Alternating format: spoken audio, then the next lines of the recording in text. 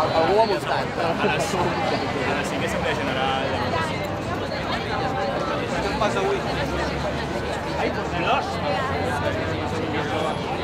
La vaga estudiantil eh, a nivel de universidades empezó ya ayer, será indefinida hasta que consigamos lo que estamos pidiendo y esto también es una manera de enlazarlo.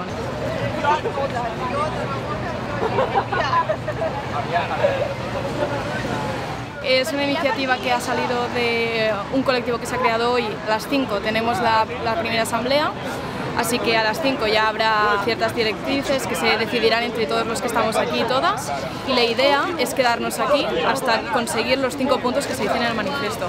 Básicamente es la libertad de los presos, que podamos manifestarnos, que podamos tener un futuro digno para la juventud porque ahora mismo no lo tenemos.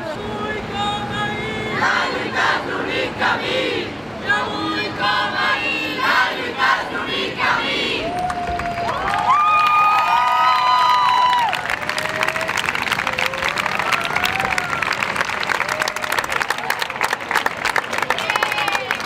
En las últimas semanas, cada día se han hecho algún tipo de manifestación, siempre pacíficas, hasta que al final han habido algún tipo de cargas o represión policial por parte de la Policía Nacional, de la Guardia Civil o de los Mossos, y mucha gente, muchas jóvenes han estado heridas.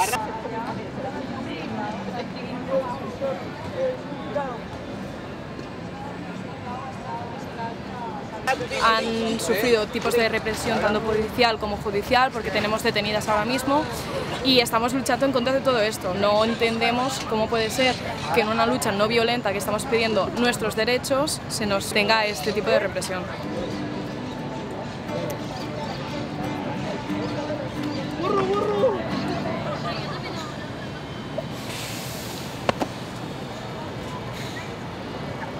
Ahora mismo nos encontramos en una situación de que el paro estudiantil o el paro de personas jóvenes de 25 años aproximadamente, incluso hasta los 30, es mucho superior al paro de la gente más adulta. Nos está exigiendo una educación una experiencia que es imposible que con la edad que tenemos ahora mismo podamos conseguir. Además, la educación con las tasas está por los aires y no todo el mundo se la puede permitir. Entonces, estamos intentando luchar para que se reduzcan estas tasas, para conseguir una educación de calidad pública y para conseguir que nuestro futuro pues,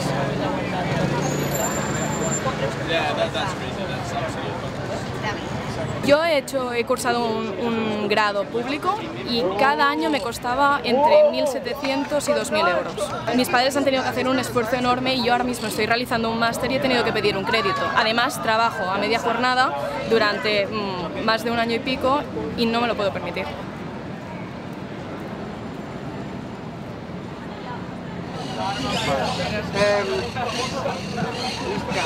Una señora un carrito. Estamos luchando desde hace mucho tiempo porque se rebajen las taxas universitarias. Hemos hecho una iniciativa legislativa popular con las firmas que se nos pedían para presentarla ante el Parlamento y estamos luchando para que los presupuestos de, este nuevo año del gobierno catalán sean más sociales y también tengan en cuenta a los jóvenes, porque muchas veces son sociales pero tienen en cuenta personas más adultas y no se fijan tanto en temas de educación. Que aquí estamos y aquí seguiremos.